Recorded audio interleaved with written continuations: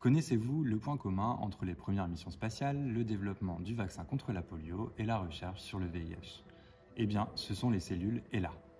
Le nom de ces cellules nous vient tout d'abord des deux premières lettres du prénom et du nom d'une américaine nommée Henrietta Lacks. Née en 1920 dans un milieu pauvre, Henrietta se fait diagnostiquer un cancer très agressif du col de l'utérus en 1951. On lui prélève alors plusieurs fois des cellules à des fins de recherche. Et très vite, l'on se rend compte que ces cellules se multiplient très rapidement. Elles doublaient même leur nombre toutes les 24 heures.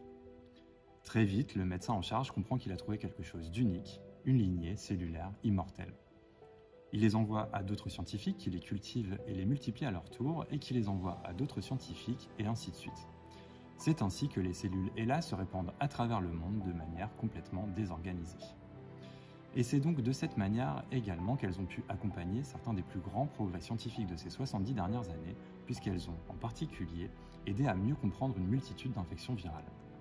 L'histoire d'Henrietta Lacks et de ses cellules est une histoire fascinante qui touche à de nombreux sujets comme la bioéthique, le consentement des patients quant à leur participation à la recherche et bien d'autres.